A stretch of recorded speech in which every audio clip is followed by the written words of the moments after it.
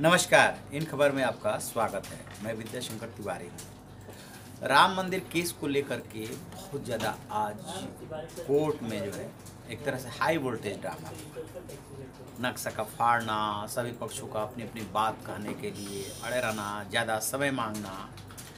आ, ये अब तो लगभग तय हो गया कि ये सुनवाई ख़त्म हो गई है। अब कोर्ट को फैसला देना है। और कोर्ट ने पहले ही ये कह दिया है कि एक महीने का टाइम लेंगे हम फैसला लिखने में। तीन दिन का टाइम दिया है कि जो कुछ भी आप रिलीफ मांग रहे हैं, उसके बाबत आप मोल्डिंग ऑफ़ रिलीफ करके आप दे सकते हैं लिखित में। तो एज ए ले मैन समझने के लिए हम ये जानने की कोशिश करते हैं कि पूरा मामला है क्या।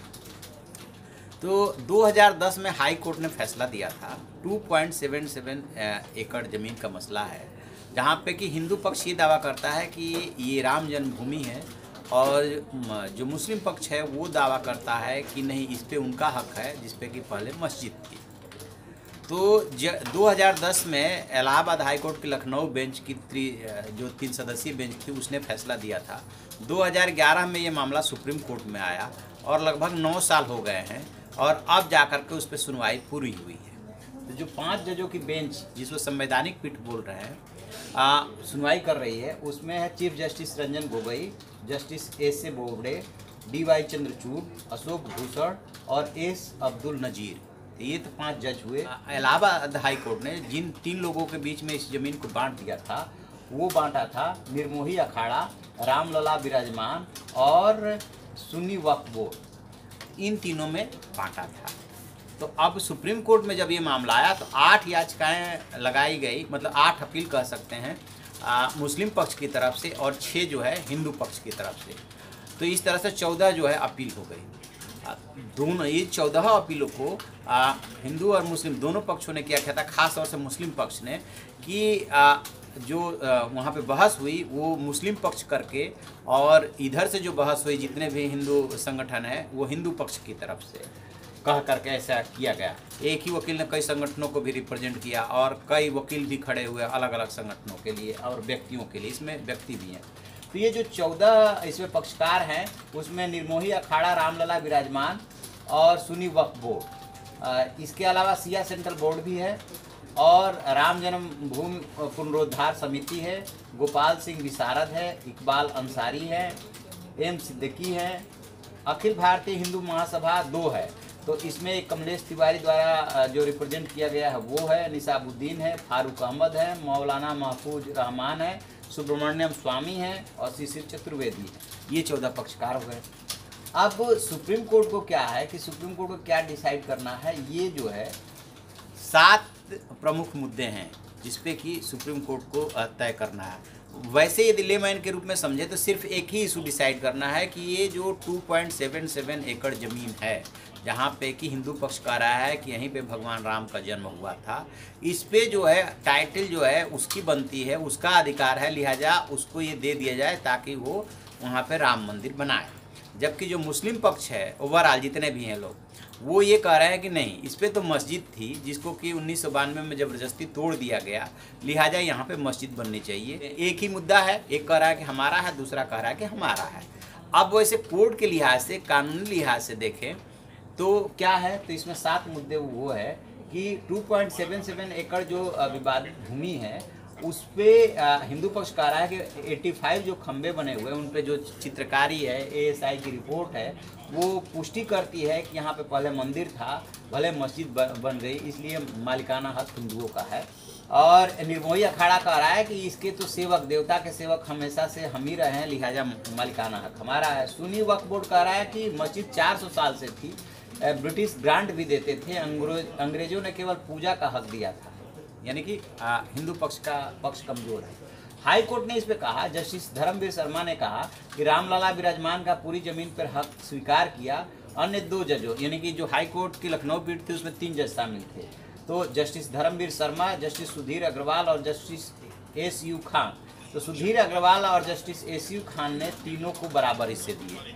यानी कि दो एक के, के से ये फैसला हुआ था। एक ने पूरे पे हिंदू पक्ष का हक माना और दो ने माना तीन में बांटा था। अब अब दूसरा इशू है ज़मीन पे कौन काबिल? तो हिंदू पक्ष 1934 के बाद इस स्तर पर मुसलमानों ने नमाज़ बंद कर दी थी। ये हिंदू पक्ष का तर्क है। आ, लेकिन हिंदुओं ने पूजा जारी रखी। हिंदू वर्ष 1800 के पहले से लगातार पूजा कर रहे हैं। निर्मोही अखाड़ा ने कहा कि मुस्लिम पक्षकारों ने भी माना है कि हम वर्ष 1850 से सेवेट की भूमिका में यानी पुजारी की भूमिका में। मुस्लिम पक्षकार हमसे जबरन आ, हमें नमाज़ मुस्लिम पक्षकार कह रहा है कि हमें नमाज़ से जबरन रोका गया। 1934 के बाद नियमित नमाज़ बंद हो गई। गवाहों ने पुष्टि की है कि जब नमाज़ की कोशिश की तो जेल में डाल दिया भले नमाज़ बंद हुई हो लेकिन कब्जा हमारा रहा। अब यहाँ पे हिंदू पक्ष ये बात इसलिए कर रहा है कि यहाँ पे नमाज़ नहीं हो रही थी। वैसे नमाज़ उन्नीस सौ चौंतीस के बाद, उन्नीस सौ उनचास के बाद दो ये साल बताया जा रहा है, बंद हो गई। क्योंकि जहाँ पे रेगुलर नमाज़ नहीं होता है, फिर वहाँ के मस्जिद जो है का अस्तित्व नहीं माना जाता है। मस्जिद के लिए रेगुलर नमाज़ का होना ज़रूरी है। हाई कोर्ट ने इसमें फैसला दिया कि मुस्लिम पक्षकार व निर्मोही अखाड़ा लंबे समय से ज़मीन पर काबिज रहे, इसलिए रामलला विराजमान के साथ उन्हें ज़मीन का एक एक हिस्सा दिया जाए। तो ये उसमें हाईकोर्ट का फैसला रहा। अब एसआई रिपोर्ट में ये दावा किया गया है कि विवादित स्थल पर खुदाई के बाद एएसआई ने स्पष्ट कहा है कि वहाँ मिले अवशेष और खंभे किसी मंदिर के हैं, यानी वहाँ पहले मंदिर था। कुरान के अनुसार मस्जिद पर किसी भी प्रकार की चित्रकारी की मनाही होती है। मुस्लिम पक्ष कहता है कि वह रिपोर्ट महज विशेषज्ञों के विचार है। खुदाई के समय एएसआई एक मंत्री के इशारे पर काम कर रही थी।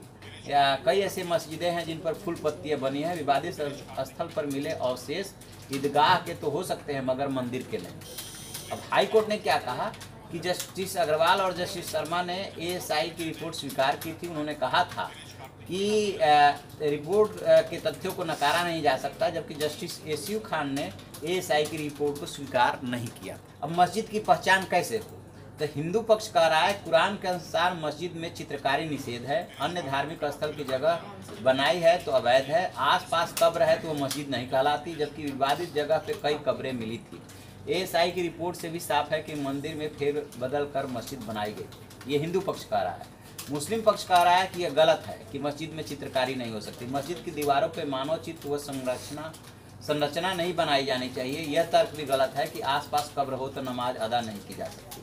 हाई कोर्ट ने इस पर क्या कहा? हाई कोर्ट के जस्टिस अग्रवाल और जस्टिस शर्मा ने कहा कि मौजूदा तथ्यों के आधार पर विवादित ढांचे को मस्जिद नहीं कह सकते। जस्टिस खान ने इस मुद्दे पर कुछ नहीं कहा था। मौन साध गए। अब राम का सही जन्म स्थान कौन सा? इस पर क्या हिंदू पक्ष कह रहा है क्या मुस्लिम पक्ष कह रहा है और हाई कोर्ट ने क्या कहा? इन्हीं बिंदुओं पे सुप्रीम कोर्ट को भी फैसला देना है। तो हिंदू पक्ष ने कहा कि मस्जिद के केंद्रीय गुंबद के नीचे वाला स्थान ही भगवान राम का सही जन्म स्थान है। मुस्लिम पक्ष कह रहा है कि जो ये दावा कर रहे हैं वो इस तथ्य पर आधारित है कि पुजारी ने कहा कि उन्हें भगवान राम ने सपने में आकर उक्त जगह की जानकारी दी। ऐसे दावे को नहीं माना जा सकता। विवादित जगह के समीप जन्म स्थान के नाम से एक मंदिर है। कुछ लोग इसे राम का जन्म स्थान मानते हैं, वहीं कुछ लोग राम चबूतरा को भगवान का जन्म स्थान बताते हैं। तो ये दावा कैसे सही हो सकता है? यानी कि वो ये कह रहे हैं कि ये ये ज़रूरी नहीं कि यहीं पे पैदा हुए हों, बगल वाला भी इसी नाम से जाना जाता है। हाई कोर्ट ने इस पर फैसला दिया कि जस्टिस शर्मा और जस्टिस अग्रवाल ने कहा कि यह कहा नहीं जा सकता कि राम कहाँ पैदा हुए। लोगों की आस्था है कि इस प्रांगण में राम का जन्म हुआ। जस्टिस खान यहाँ पे भी चुप्पी साध गए उन्होंने कुछ नहीं बोला।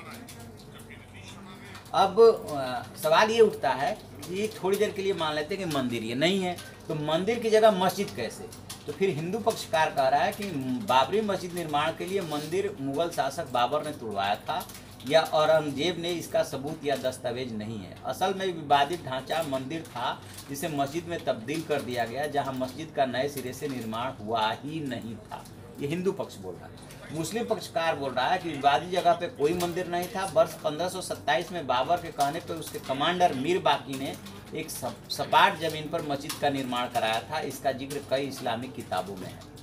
हाई कोर्ट ने कहा, जस्टिस खान ने कहा कि मंदिर की बात एएसआई की रिपोर्ट से कही जा रही है। दो जजों ने कहा कि मंदिर तोड़ा इसके साक्ष्य नहीं है, मगर पहले मंदिर था, यह तथ्यों से स्पष्ट। है तो ये रहा हिंदू पक्ष और मुस्लिम पक्ष और फिर हाई कोर्ट का फैसला। एक चीज़ देखने में आ रहा कि ज़्यादातर बिंदुओं पे जो जस्टिस अग्रवाल है और जस्टिस शर्मा हैं, वो सहमत होते हैं और जो जस्टिस खान हैं, उनकी या तो अलग राय रह रही है या वो मौन साथ जा रहा है। अब एक इसमें और महत्वपूर्ण इशू है कि क्या न्यायिक व्यक्ति है या नहीं। तो हिंदू पक्ष कह रहा है कि राम और उनकी जन्मभूमि आस्था का केंद्र है, लोग इसे भगवान की तरह पूजते हैं, इसलिए राम लला न्यायिक व्यक्ति हैं। मतलब क्या भगवान या देवता न्यायिक व्यक्ति हो सकते हैं? तो कह रहा है हिंदू पक्ष कि हाँ बिल्कुल हो सकते हैं। मुस्लिम पक्ष कह रहा है कि विवादित जगह को न्यायिक व्यक्ति नहीं माना जा सकता, कोर्ट ऐसा करता है तो फिर मस्जिद भी न्यायिक व्यक्ति है। यानी कि आप यदि उनके देवता को न्यायिक व्यक्ति मान रहे हैं तो फिर हमारी मस्जिद को भी न्यायिक व्यक्ति मानिए। हाई कोर्ट ने कहा जस्टिस सुधीर अग्रवाल और जस्टिस धर्मवीर शर्मा ने स्थल को न्यायिक व्यक्ति माना था जबकि जस्टिस एस यू खान ने नहीं माना। और इस तरह से इस सात बिंदुओं पे में से ज़्यादातर बिंदुओं पे जस्टिस अग्रवाल जस्टिस सुधीर अग्रवाल और जस्टिस धर्मवीर शर्मा एक राय के थे और एसी खान जो है वो अल, अलग राय के थे। बारह तीन भागों में चूँकि उसमें हाई कोर्ट और सुप्रीम कोर्ट में भी बना हुआ सिस्टम कि जब भी ऐसा मतभेद हो आपस में किसी इशू को लेकर के तो जज जो है अपना अलग फैसला दे सकते हैं। तो कुल मिला जुला करके इसमें तीन भागों में बांट दिया गया हाई कोर्ट से। और अब इन्हीं सात बिंदुओं पे मतलब ये सात प्रमुख बिंदु हैं। बिंदु तो न जाने कितने उठाए गए हैं। सुप्रीम कोर्ट को तय करना है कि रामलला विराजमान, निर्मोही अखाड़ा और सुन्नी वक्फ बोर्ड में से किसका हक बनता है, किसके पक्ष में ज़्यादा एविडेंस है, कौन अपनी बात को साबित कर पाया और कौन नहीं कर पाया? ये सुप्रीम कोर्ट को तय करना है। तो ये है पूरा राम मंदिर केस, कैसे विवाद शुरू हुआ, कैसे हाईकोर्ट में फैसला हुआ और कैसे अब किन बिंदुओं पे सुप्रीम कोर्ट को फैसला करना है। तो आप ऐसी खबरों के लिए देखते रहिए हमारा डिजिटल चैनल इनका इनका इन खबर चैनल को सब्सक्राइब करें और बेल आइकन दबाना ना भूलें।